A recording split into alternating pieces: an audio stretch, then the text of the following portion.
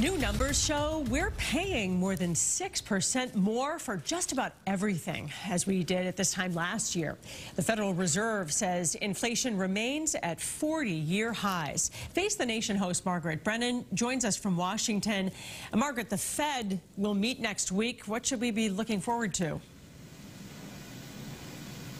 Well, the Federal Reserve is going to try to get control of this inflation. That is their job. And we know that the Federal Reserve chair has already indicated that he is considering raising interest rates by as much as half a percent. This is after they've already raised rates a quarter of a percent. So this is a concerted effort to try to cool off inflation that for too long uh, the Fed has admitted they expected to be transitory. It is with us still. It is going to have economic impact. Uh, potentially even triggering a recession in the view of some of the country's largest investment banks. It's what the Fed's trying to avoid.